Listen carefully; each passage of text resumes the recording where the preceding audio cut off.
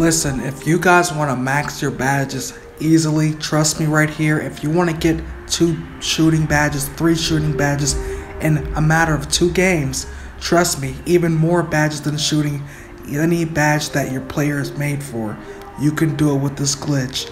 Keep in mind, only have 48 points, and we did unlock two badges, and we broke a cap breaker. So this is our second game to show you guys that we did play again. And keep in mind, this game is only 10 minutes long and we can keep doing this every 24 hours. So we did almost break another cap breaker, but we did unlock another shooting badge. So you guys, let's get into how to do this easy, easy glitch that I am doing to max my player to 28, 28 badges. So let's go. If you want the most stacked and legit NBA 2K20 accounts, make sure you guys go check out sportstnb.com and use code your boy Sam at checkout. It's worth checking out, man. First link in description. Hope you guys enjoyed the video. Let's go. Yo, yo, yo, what's up YouTube? It's your boy Sam. Now today I'm going to show you guys how to max your badges the best way after every patch that 2K did. So trust me right here, I'm doing this myself on a brand new stretch 4 that I just watched a video. Duke Dennis, the best build, because I was a stretch in 2K19 and I did miss that build, man. But I will be doing this 28, 28 badges or 30 badges I do have. So all you guys want to do is make a brand new player, the best player that you want. Trust me, if you if you already have a, a build 80 overall, you have no badges, you need to do this. Trust me, guys. I wouldn't be telling you this for no reason. So, you guys, since I am a stretch four, I'm going to be shooting the ball. And if you want to get your badges fast, you see I'm sitting in this corner right here so we can get our Hall of Fame badges really quick. The catch and shoot right to the corner and we can keep getting so much rep progress towards our badges. So that's how I'm getting all these badges super, super quickly, man. So at the end of this day, we're going to get our badges and go and level up on our cap breaker because we're getting it on a rookie difficulty, man. So, you guys, all you want to do is play this full 10 minute game, and this is the second game in the prelude, I believe so, but don't quote me on that. It might be the third one, but I'm positive it's the second game. But all you want to do, if you're a shooter or a playmaker, I recommend doing your momentum, then step back.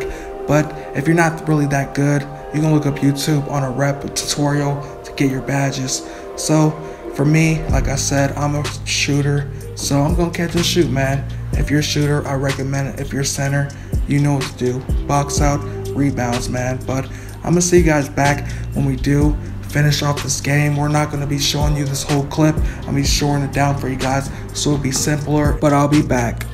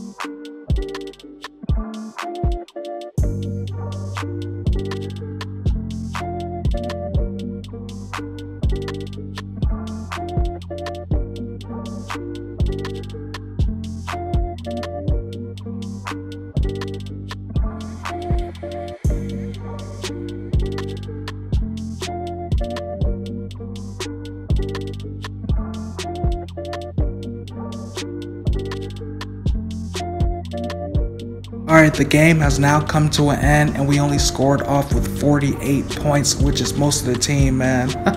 so we did break our cap breaker as you guys seen and we did go up on our shooting badge, man. So go crazy on this, guys. But a key part when your stats load up and your VC does load, you want to close your game. So VC loads up, now we're going to close our game. Once I mean by close a game, you want to, of course, close the application. So once you close the game, all you want to do is load right back on that same player you were just on. Do not go to another player and go to the neighborhood. Go right back to that same player. So I'll be back when we do load onto the player.